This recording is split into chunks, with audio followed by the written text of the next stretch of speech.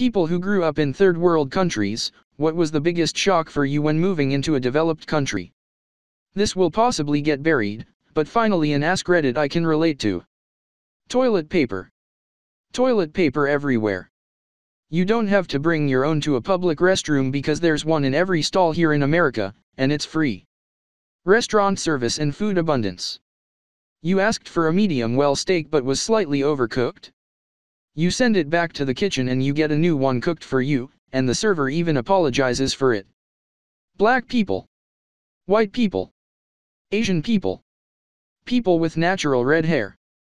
In my 15 years living in a small town in Central America, I saw maybe two black people, a handful of white people, the one Chinese restaurant owner, and zero redheads.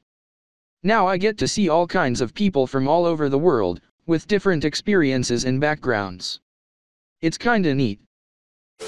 Just how much of my mind was previously occupied by machinations of keeping my family alive. Like always subconsciously running through the drill of what to do in the event of an armed hijacking or house break-in, and being super vigilant around people and in various places, no matter the time of day. I felt like at least 10% of my mental capacity has been freed up for other more productive thoughts like appreciating beauty and freedom, planning a prosperous future and trusting that the sense of security my family and I feel isn't just a ruse. When I was in the Marines I had a friend that was from extreme rural Africa. So we took him to 3D shows and such. He had been in the US for around 6 months but even things like TV was an amazing luxury to him. Someone in the group picked up one at a pawn shop off post and gave it to him and he was just amazed that someone would just give him a TV. Something nifty. He had it set up so direct deposits would go to an account his village had access to. His salary as an E2 in the Navy made his family semi-royalty in the village. I visited my cousins in the U.S. once. I was surprised that your houses don't have walls around them. There were only those fences at the side and back that pretty much anyone can jump over. Where I live the only houses who don't have walls surrounding them are those in compounds or subdivisions that have roaming security guards. Paid security guards not volunteers like the neighborhood watch kind of thing.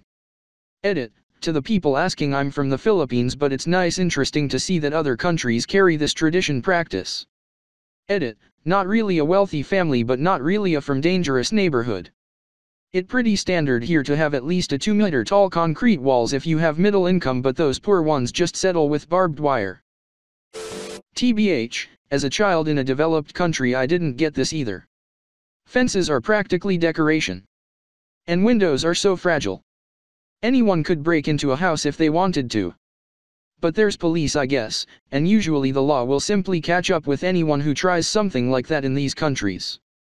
Edit, God you people like to talk about your fences. I meant they were, practically decoration, in terms of security. I understand they have other purposes as well. Thank you everyone for the upvotes. This is my highest post slash comment by far. Safety when walking on the streets during night. When in Brazil, I used to wait for my wife on the bus stop from college. As she usually left college around 2200 hours, it was dangerous. We used to live on a central zone, and her college was also central. In Ireland, if she leaves a party at 3 o'clock, I don't get concerned at all. So great to live without being afraid. It took us about one year to relax. This happens a lot in South America. I'm from Chile and is the same. We as women can't walk at night alone. It's dangerous. How little theft there is. I was always told to always mind my bag and make it clear I'm holding it tight. Now I can freely leave it beside me, sometimes not even look. I've had friends leave a purse on a table in a restaurant and I made jokes about how easy it would be to steal it. Just a lot more relaxing in public due to less theft.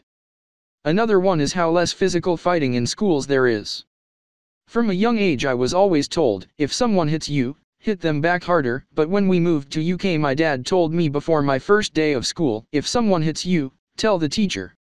Even from a poorer area in New Zealand to Australia, in the schools here, they leave their school bags outside the classroom. It's so strange.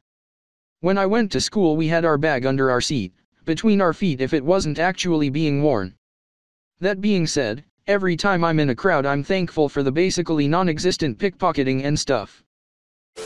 I am from the USA, but I am currently in South America. Back home there are couples where if one texts the other and they don't respond right away, they assume they don't like them or that they are cheating or something. Here if you text someone and they don't respond, you assume their phone was stolen. I am attending a wedding next week in Buenos Aires and I needed to tell the bride something. She didn't respond. After a couple of days I contacted her mother. Yep, phone stolen. Now she is trying to get in touch with people who are undoubtedly sending her messages. Ugh. Had that too, every time I go visit my home country I get a cheap phone as I know it'll get stolen. We even used to do this thing where you'd have two phones, your real one and a dud one that's super cheap to replace. If somebody tries to steal your phone, you give them the cheap one, but nowadays the thieves are catching on.